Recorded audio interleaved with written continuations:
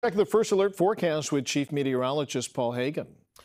Air quality was the big story of the day. It's now smoke mixed with fog across the Bay Area this evening. That smoke being directed towards us by northerly winds along the coast, sending the smoke in from southwestern Oregon and far northern California, resulting in that severe deterioration of our air quality. Futurecast models definitely pick up on the concentration of smoke over so much of the Bay Area this evening. Here's the good news. Things are slowly going to improve. Now, the bad news is it's going to be slow. Still plenty of smoke lingering in the atmosphere overhead on Wednesday, but it should be a little more more dispersed by Wednesday afternoon, and it should be more dispersed than that as we head through the day on Thursday. So a slow improvement over the next couple of days, but I still think the smoke is going to be concentrated enough to at least send us into the unhealthy for sensitive groups category for some of the same spots that had the worst air quality today. San Francisco and Oakland, inland in the East Bay, and for much of the North Bay. We'll be updating this as we get more data. We're going to continue evaluating this as the entire situation evolves. At least our temperatures aren't hot to go along with the smoky conditions. That was the case a couple of years ago, but let's take a look at our current temperatures as they stand right now. We've dropped down into the 60s across most of the Bay Area. It's exactly 60 degrees in Los Gatos. You're a little bit ahead of the pace in terms of how much you're cooling off. A little bit behind the pace where temperatures were warmer earlier today. Antioch still holding on to the low 70s. You made it up into the mid 80s earlier today. Down to below 60 degrees already for Half Moon Bay. It's one of only a couple spots already dropping down into the upper 50s. The others in the North Bay, the other location in the upper 50s already down to 57 degrees in our usual cool location in Petaluma. Everybody's going to join you in the 50s by early tomorrow morning. Some of the coolest locations will be in those North Bay valleys, tend to just gather a little bit more of that cool air.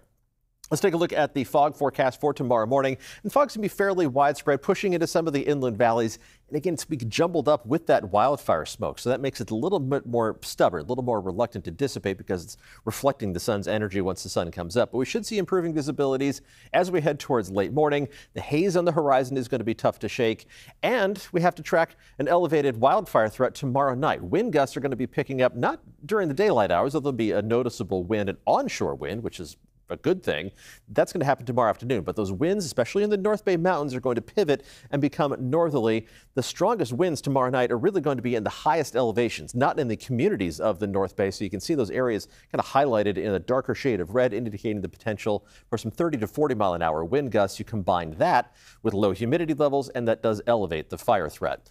Farther down the line, we actually have a chance of showers in the forecast. It's towards the tail end of the seven day forecast, but just another complicating factor in the entire forecast. So let's take a look at temperatures for tomorrow. Again, this is the good news. We don't have to deal with any hot weather to go along with the diminished air quality. Temperatures inland in the North Bay topping out in the mid to upper 70s, running a few degrees below average. Closer to normal for San Francisco and Oakland, hovering right around 70 degrees with temperatures into the 70s down the peninsula in Redwood City.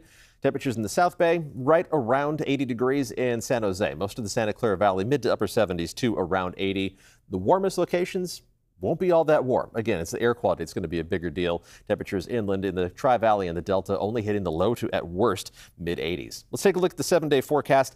And we're not going to see much temperature change over the next seven days. Inland parts of the Bay Area are going to be hovering right around 80 degrees. Now, that rain chance for inland parts of the Bay Area, in the East Bay and the Santa Clara Valley, it's not going to be much of a rain chance late in the seven day forecast, but it is going to be a bigger deal for the North Bay. We'll keep an eye on that. Let's take a look at the forecast around the Bay, and you do have a better chance of rain towards the tail end of the seven day outlook. We're talking about the last day here on Tuesday, and I love how the little raindrops accumulate on our forecast tube here in the seven day forecast. We're talking light rain showers, and it's lower than a 50 50 chance but it's still the first even decent chance of showers that we have seen so far in the fall season. And fall isn't officially here yet. Same thing along the coast. You have a slightly better chance of some of those showers holding together by Tuesday.